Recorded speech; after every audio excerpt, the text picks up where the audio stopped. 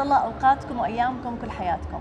وطل عليكم بحلقة جديدة من برنامج 180 درجة. البرنامج اللي بدردش فيه مع ضيوفي بمواضيع من حياتهم لحتى أعرف كيف طريقة تفكيرهم. لما سمعت قصة حياة ضيفتي لليوم وعرفت تفاصيل حياتها كاملة حكيت لها انت بالذات اللي رح تخلي الناس تعرف شو الهدف من هالبرنامج. لما تسمعوا قصة حياة جيهان ضيفتي رح تعرفوا شو قصدي من هالمقدمة. جيهان هي معلمة لغة إنجليزية لذوي الإعاقة حاصلة على ماجستير في التربية الخاصة. أنشطة جيهان اسم الله كبيرة لأنها ناشطة في مجال توعية المجتمع تجاه النظرة السلبية لذوي الإعاقة فعملت حملات ومبادرات في هالمجال. جيهان لما ولدت أخذت المطاعيم زيها زي أي طفل. لكن شو اللي صار معها؟ رح تعرفه وكيف عاشت طفولتها وكيف حياتها بالطفولة أثرت على شخصيتها لما كبرت. رح أستقبل جيهان وأبلش دردشة معها. خليكم معنا.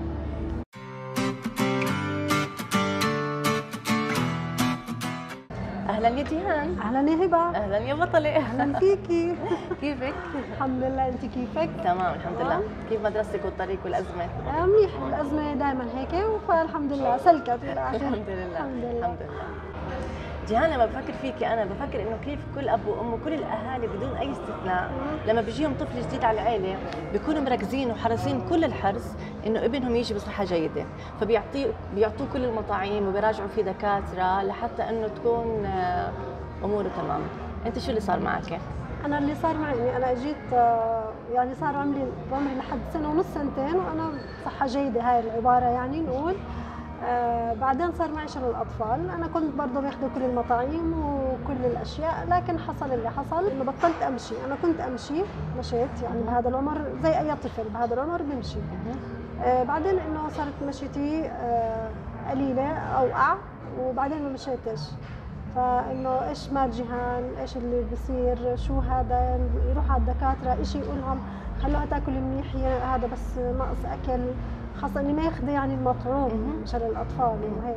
فكان محتارين الدكاترة. عبين ما بالآخر يعني صار عمري تقريبا خمس سنين لما إنه خلص هذا شل الأطفال ونعرف إيش ال- السبب. والأهل يعني هون بهاي الحال إحنا كنا طبعا بالأردن بمدينة الزرقاء. آه، أهلي عرفوا عن مستشفى كويس في مدينة بيت لحم بالضفة الغربية. فلسطين. فاضطرينا إنه ننزل على الضفة. يعني أنا وإمي بالتناوب كانت إمي تروح وتيجي كمان على على الزرقاء. شهر ببيت لحم بالخليل وشهر بالزرقاء. فهناك أنا ضليت خمس شهور بالمستشفى. عملت عمليات أخذت العلاج الطبيعي والتأهيل كامل يعني بشكل كامل. آه، ضليت عبين وطلعت من المستشفى الأول. بعمر؟ بعمر خمس سنين ونص تقريبا. على شو ست استقر. بالآخر؟ كيف مشيتي؟ آه إنه أنا آه كنت أمشي على عكازات وألبس جهاز بالرجلين التنتين. على العكازات؟ آه. هذا رجعتي آه، بأي عمر؟ بعمر ست تقريبا سنين. نقول ست سنين ست سنين على المدرسة. آه دغري طيب جيهان لما رجعتي من فلسطين كنت كثير صغيرة يعني أنا متأكدة إنك أنت ما كنت بتوعي بحكم عمرك الصغير ومش متذكرة آه، بس اللي بدي أفهمه اسم الله قبل كل شيء إنه كيف أهلك قدروا يزرعوا في راسك إنك أنت بنت ما بتختلفي عن صحباتك وعن غيرك من الأطفال أنا عشان ما حد يفهمني غلط من ناحية الحركة بحكي انك انت مم. ما آه. بتختلفي عن آه. غيرك حركيا يعني مم. هالشيء كثير صعب الأهالي يزرعوه بعقل حدا كبير وواعي ما بل. يكون طفل صغير وجاهل أو إنك أنت كجيهان بأسلوبك وبشخصيتك وبطريقه حياتك أعطيتيهم هذا الانطباع وبالتالي كانت معاملتهم الك واللي زرعوه في في راسك وفي حياتك إنك أنت ما بتختلفي وعباره عن رد فعل أسلوبك وحياتك. كيف قدروا يزرعوا هالشيء براسك و... هلا آه كانت المعامله إلي في البيت إنه أنا زي زي اخوتي ما في فرق بين أي حدا. فهم راحوا على مدارس فأنا لازم أروح على مدرسة. مدرسة جنب البيت أنا بروح على مدرسة جنب البيت ما بروح على مدرسة خصوصي لطلاب ذوي إعاقة. فكانوا مصرين خلص جيهان زي زي اختها زيها زي أي طفل ثاني بدها تروح على المدرسة اللي إحنا بتناسبنا كيف جيهان زيها زي أي طفل؟ أنت مش بتتحركي زي أي طفل؟ هلأ شوفي آه هم هيك أهلي كانت نظرتهم يعني. وأنت آه بديش أحكي إنه أنت كنت مصدقة بس أنت مش كنت حاسة شيء ناقصك. أنا ما كنت هذا الشيء بهذا العمر يعني ما كنت واعية إنه مثلا أنا في شيء غير. يعني لأنه لما كل تكوني اللي بدك إياه كنت بتعمليه. آه. يعني لما تيجي معك الإعاقة من عمر كثير صغير هالقد آه، ما. بتحسي إنه مثلا في في شيء غير. يعني بتحسي إنه أنت زيك زي هالأطفال. آه، يعني مثلا آه، أشياء كثير كنت أعملها ألعب بالحارة. أنا وأخوتي واولاد الجيران وبنات الجيران. عارفة؟ يعني عشت طفولة طفولة زي أي طفل. طب كيف كنت تلعب الألعاب؟ أنت حكيتي لي كنت تلعبي حجله آه هاي من الأشياء اللي شو بتذكر كنا كمان نلعب الغماية. الغماية. وبالليل. فظيعة. آه، الحجلة شوفي كنت أشوف صحباتي مثلا بيلعبوها الحجلة. هلأ أنا جا على بالي بدي أجرب. فإيش أعمل؟ آه في لنا برندة قدام البيت بقت وأرسم آه، رسمة لعبة الحجلة على الأرض وأجيب الحجر. واتركها على السور. أحمل حالي أنقل حالي فظيعة. وادفشها برجلي له آه هي هيك إنه أنا هيني لعبتها. حتى كنت آه، هي نط الحبل. مهم. صاحباتي يلعبوها مثلا آه، صاحباتي في المدرسة وبالحاره وهيك آه، يقولوا لي جيهان آه، تعالي العبي معنا. العبي معنا العبي بالحبل نفسه يعني لو ما نطيت. بعدين إيش يعملوا؟ إنه يخلوا الحبل على الأرض. أها. وأنا أمشي فوقيه المهم إنه جيهان تشارك معاهم. فشوفي بهاي الظروف هيك بتيجي بتخلي شخصيتك آه، طبعاً. لا شعوريا. دون يعني بتبني فيكي قاعدة. صح. آه ما يعني كنت بتذكر ما كنت يعني تستغرب إنه ليش هم مش مركبين جهاز زي الجهاز اللي أنا مركبيته هلا شوفي وأنا كثير صغيرة ما كنت هذا الشيء انتبه له لما دخلت المدرسة آه، كانت تتوجه لي أسئلة من البنات مثلا إنه أنت ليش شو هذا اللي لابستيه ليش لابستيه أولها أتضايق وما أعرفش شو أجاوب. أرجع على البيت أنت نفسك مش عارفه شو الجواب آه آه يعني أنا بلبسها ج- عادي يعني أنا أنا متعودة أنا مش فأرجع لإنه أقول لها مثلا بيسالوني يعني شو هذا الجهاز؟ وليش بلبسه؟ وليش أنا هيك؟ لي خلص قولي لهم هيك. أنا من الله هيك خلص احكي لي عن ال shoes. آه ال shoes. كنت آه، أنا بلبس ال- الجهاز الطبي بالرجلين التنتين والحذاء بكون مفصل تفصيل. مع الجهاز. آه هذا كثير بيبقى شكله مش حلو وكبير ومش مريح حتى. فأنا يجي على بالي ألبس من الأحذية اللي موجودة بالسوق. يعني لي شيء فانه تجيب لي تشتري لي. وألبسه. شوفي لهذا التفصيل إنه حتى الحذاء آه. تحسسك إنه أنت ما في فرق بينك وبين غيرك. آه بالضبط. خلص جاي على بالي الشيء يجيب لي إياه. ألبسه. يعني أدعس فيه أحس التراب فيه كيف الشعور. فيعني هاي الاشياء هيك بتخليكي إنه جربتي كل شيء طيب لما جيهان دخلت المدرسة. أيوه. شوفي جيهان أنا كثير حابة الناس تعرف عن اللي مريتي فيه بمرحلة الابتدائي. آه يعني أنا بحكي عن فترة ما بدي أحكي أي سنة عشان ما أكبرك اسم الله عليكي أنا صغيرة كثير. بس بدي أحكي عن مرحلة ما كان فيها هالوعي للاهتمام بذوي الإعاقة مثل ما هسه بيهتموا. وفي كثير أصوات وحملات بتنادي بدمجهم بالمجتمع إن كان من ناحية التعليم أو غيره. آه آه. فترتها احكي لي عن المعلمات كيف كانوا يتعاملوا معك شوفي قبل ما أحكي عن كيف المعلمات تعاملوا كيف إنه أنا دخلت المدرسة. يعني هون كان الدور الكبير لأهلي أمي تحديدا. امي هي اللي راحت توجهت للمدرسة لمديره المدرسة قالت لها أنا بنتي عندها إعاقة حركية آه، وكذا كذا وأنا بدي أفوتها بهاي المدرسة. بديها تفوت بصف أول. فالمديرة ما كان عندها مشكلة يعني اقتنعت وبنفس الوقت وصلت هاي الفكرة للمعلمات إنه جيهان راح تكون موجودة معنا وعندها إعاقة حركية. فهيك هيك امي مهدت ومشت في الموضوع. يعني هي انت هي كنت تعرفي هالشيء بوقتها؟ لا لا لا أنا ما ما دخلت دغري على صف بدي اصير. دكتورة يعني. مستعجلة على الدكتورة. آه. ف فهذا اللي صار هيك. فأنا لما داومت وكذا وهيك عادي. المعلومات كيف التعامل من قبلهم كان. مثلا آه، يجوا يفوتوا كنت في معلومات أحس انه هم عارفين إنه في بنت اسمها جيهان عارفين الاسم. وعندها اعاقه وين جيهان؟ مرات هيك بسرعة يقولوا وين جيهان؟ بتفرحي طبعا. آه، الطفل بيفرح آه لما مبسوطة معلمته بيسألوا عني. دغري هذا أنا معروفة ومشهورة. بعدين آه، مرات ما يكونوا يعرفوا فلما آه، يكونوا في شرح وفي سؤال مين يطلع يحل أنا اللي كنت أرفع إيدي دائما كنت يعني شاطرة. بسم okay؟ الله لهسه شاطرة. فطيب okay اطلعي. فلما يشوفوني مثلا كيف بطلع قال لا خلص خليكي مطرحك ما تتعبي حلي وانت عندك. آه. بقول لهم لا أنا بقدر بطلع وبحل على اللوح وما عندي مشكلة يعني ما ما في مشكله في شيء جواتك في شيء آه. جواتك. آه. فاطلع وأحل. فزي ما تقولي هذا الإشي كله هيك خلاني إني أنا أنا تلقائيا يعني لما أشوف إنه في حدا بنظر لغير إنه تلقائيا لا ما تنظر لغير أنا زي زي غيري. تحاول تحاولي تعكسي لهم أيوه. النظرة. آه كيف إنه هذا الشيء أكيد هو من التنشئة يعني اجى وهاي الأشياء. هلأ مثلا في عندك كان بحصص الرياضة. أنا كثير حابة تحكي عن معلومات آه. الرياضة. معلمة الرياضة معلمة صف أول ولو عمري بنساها اسمها ست لطفية. مهم. فجد كانت رائعة. في حصة الرياضة يا ستي لما نطلع كلنا كيف تعمل اللعبة اللي أنا أشارك فيها. بتحورها آه.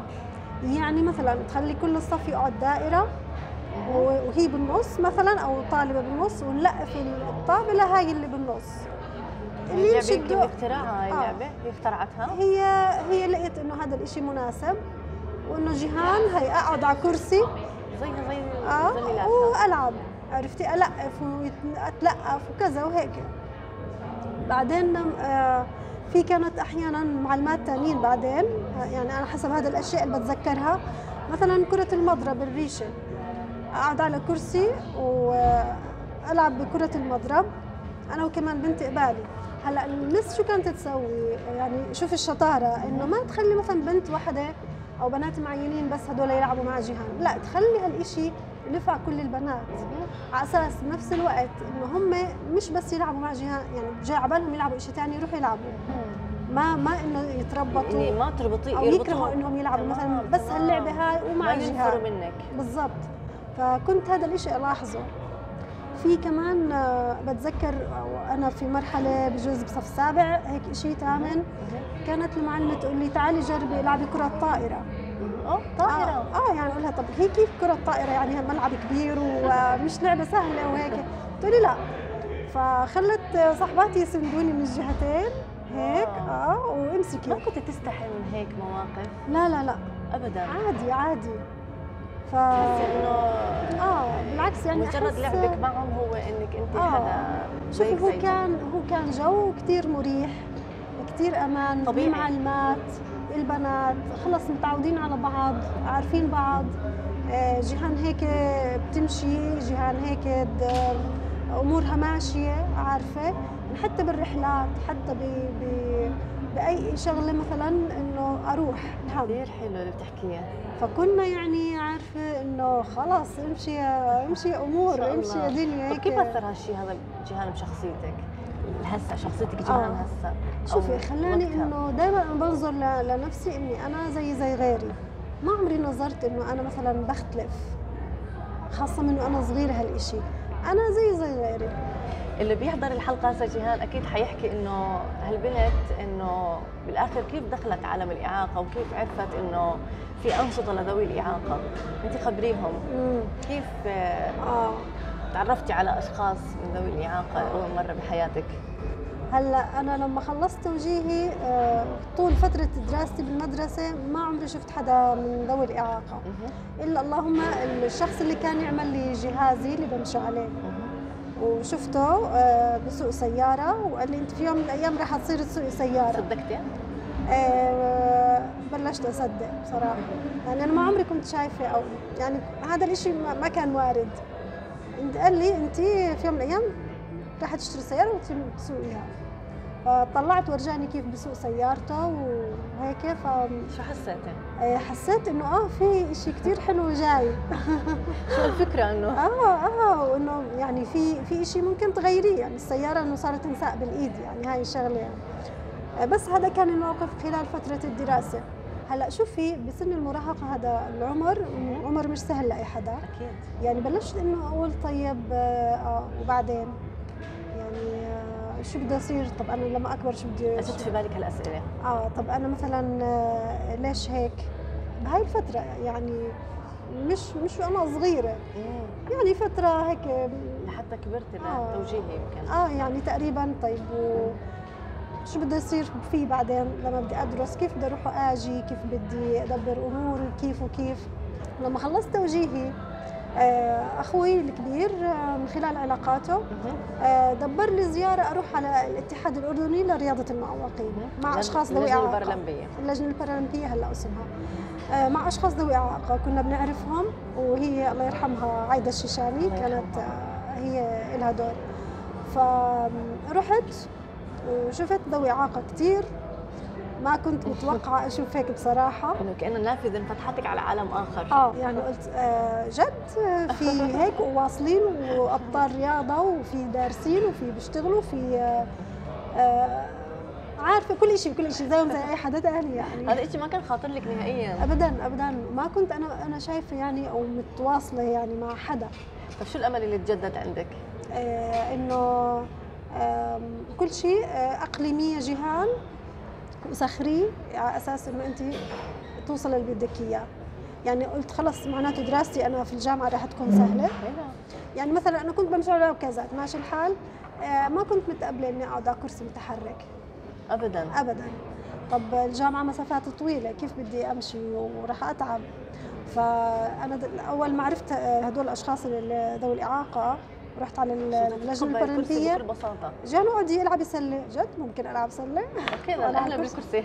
فقعدت على الكرسي وجربته. طبعا وقعت كثير بس مش مشكلة كانت لعبة حلوة. كله بدال للعب واخذ أخذت على الكرسي خلص. يعني إنه وسيلة كثير بتسهل حياتي واستعملتها. وبالجامعة مشت أموري وأروح واجي ومسافات وما كان في ما شاء بالعكس. يعني كانت شيء كثير حلو تجربة كثير حلوة وصار عندي تقبل أكثر أصلا وأكثر شيء. جواك يمكن وخلاكي آه. أكثر صلابه آه يعني شفت تجارب كثيرة عند الأشخاص ذوي الإعاقة وقلت أنا زي زيهم يعني ليش لا يعني في ظروفهم أصعب مني كإعاقة مثلا نقول وظروف حتى اجتماعية أصعب مني. ومع هيك تجاوزوها وأنت مع كل. الدعم اللي حواليك اسم الله ما بدك. ما هي بالضبط، يعني. عندي أهل بدعموا عندي إيش ما بدها جيهان المهم بغض النظر عن أي شيء المهم جيهان زيها زي إخوتها تتعلم توصل للي بدها اياه تشتغل. زي ما تقولي إنه لا هذا الشيء كثير دعمني. يعني حتى تقبلي ل- زي ما قلت لك ما كنت قابلان الكرسي. فإنه لا أنا صار عندي تقبل أكثر للإعاقة لكل شيء طيب دخلت الجامعة وكان برضه كان في ناس يساعدوك وكانت حياتك جوا الجامعة آه. وردية. الحمد لله. الحمد لله. لحد هلا كله وردي آه. الحمد لله. لا لحد بعد الجامعة. لحد بعد آه الجامعة. آه انت عارفة. خرجتي من الجامعة خرجت من وانصدمتي. جيهان آه. يعني لما بدك تبدأ بلشتي بدك تبدأ حياتك العملية انصدمتي من واقع الحياة كيف ذوي؟ الإعاقة في المجتمع. شو اللي صدمك؟ ما بدي تحكي لي بشكل عام شو اللي صدمك، بدي آه. تحكي لي مواقف، أنا مم. متأكدة إنك متذكري أشياء لأنه إحنا حتى بالقرن ال 21 وهي الأشياء اللي صدمتك. في هذاك الوقت آه، لحتى لحتى بعد موجودة فينا مع. كل التحضر اللي إحنا. عايشينه،. عشان هيك أنت صرتي حدا فعال في هالمجال وصرت بتعملي مبادرات وحملات في مجال آه، الإعاقة.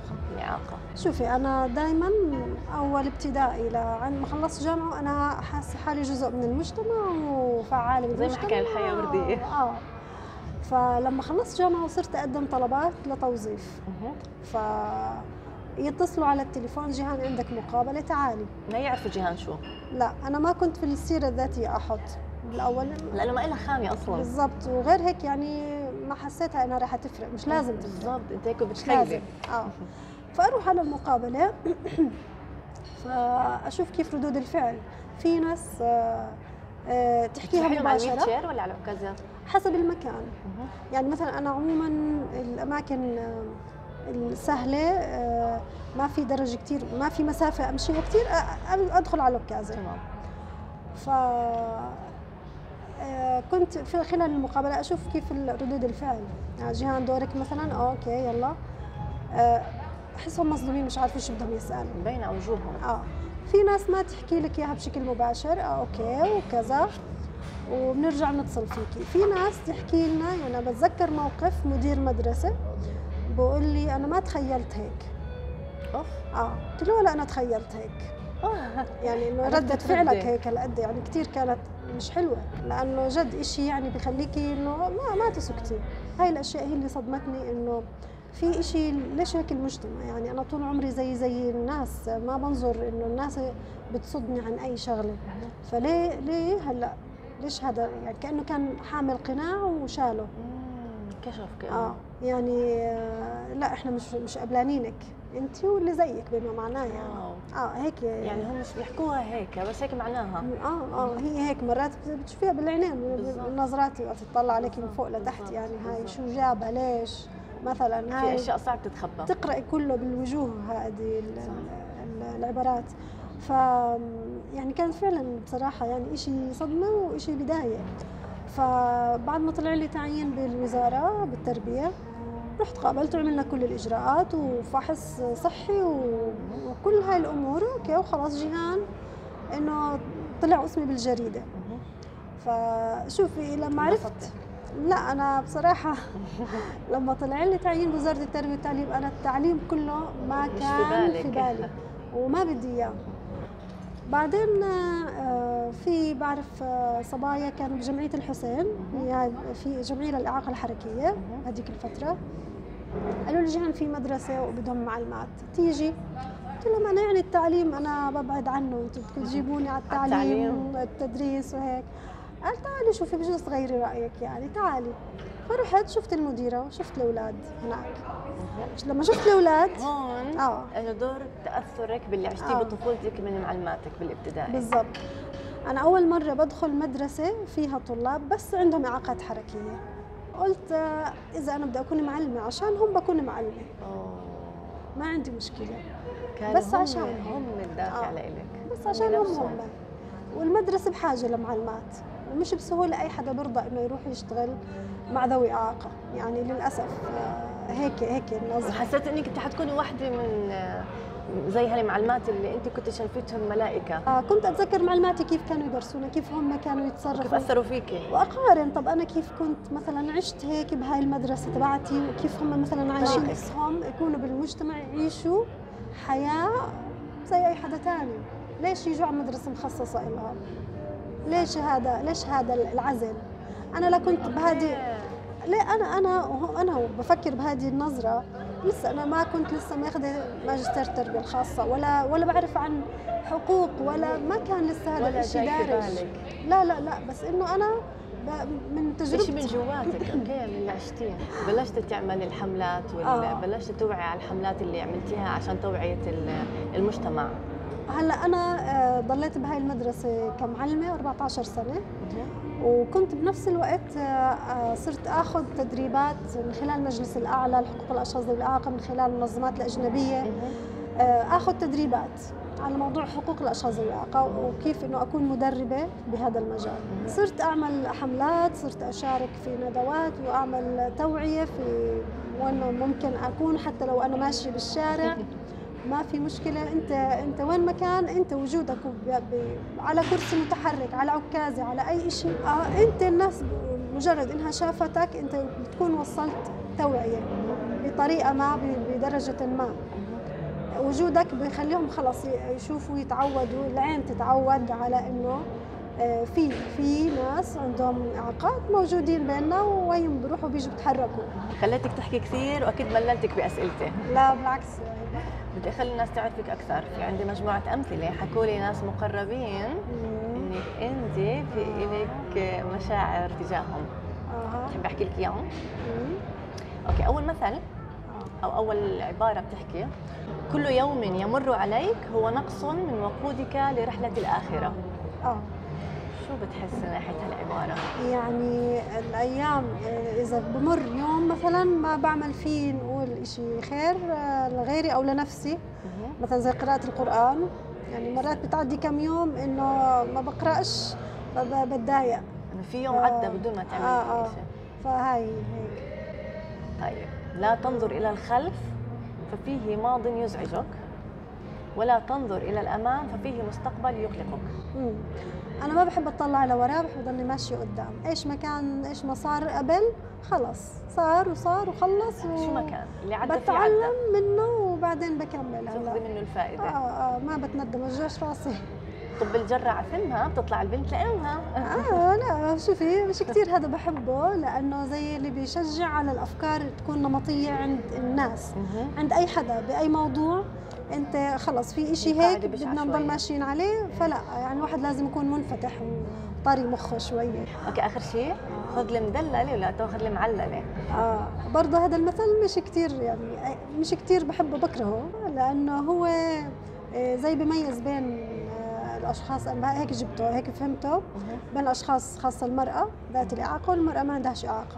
يعني زي اللي بقول لك إنه خذ بلغة الناس إنه الصحيحة هيك ما بحبهاش هاي الكلمة. وما تاخذ اللي مش صحيحة مثلا. يعني هو المثل بحكي لك من أي جهة بتاخذيه بشع يعني هو بشع. بشع من كل النواحي ولا من أي ناحية. من كل له فائدة. عن جد آه. مين اللي حطه؟ ما بعرف. جيان أنا كثير كثير مبسوطة انك كنت معي بهالحلقة وبتمنى الكل يستفيد من حديثك عن خبرتك مع الإعاقة في حياتك. إن شاء الله. وشكرا إنك لبيتي دعوتي. لا العفو هبه والكلام معك مريح بصراحة. وانت كمان. وهيك بخلي الواحد يعني يحكي براحته ويطلع كل اللي عنده. أنت طلعتي من عندي كثير هيك ذكريات وأشياء. أكيد هذا المطلوب لحتى الناس تستفيد. ان شاء الله يا رب. إن شاء الله. شكرا لك ولحضورك العفو العفو تسلم.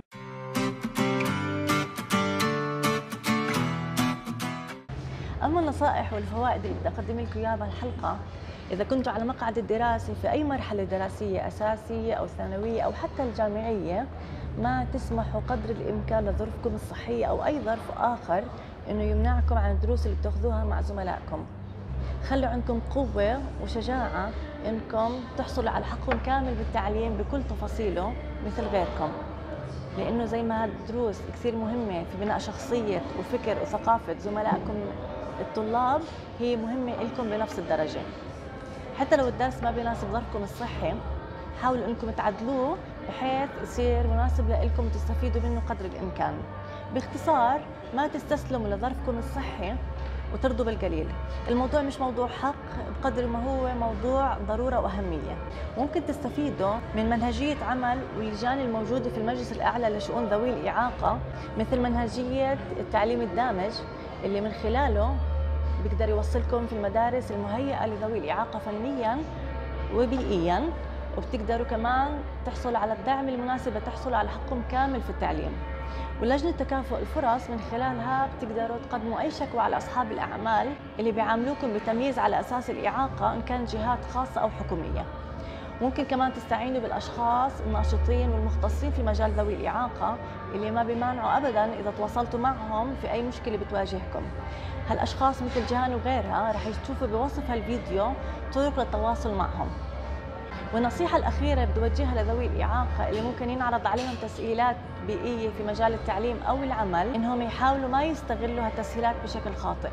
لأنه التسهيلات ممكن تكون مغريات بالنسبة لهم لكن استغلالها بشكل خاطئ ممكن يضيع عليهم فرصة أنهم يستفيدوا ويتعلموا شيء جديد يضيف لشخصيتهم ولحياتهم ولثقافتهم. بتمنى تكونوا استفدتوا من الفقرة ومن الحلقة اللي حكت فيها جيهان عن حياتها وعن خبرتها مع الإعاقة. شوفونا وإحضروا حلقات ثانية من برنامج 180 درجة على قناة همم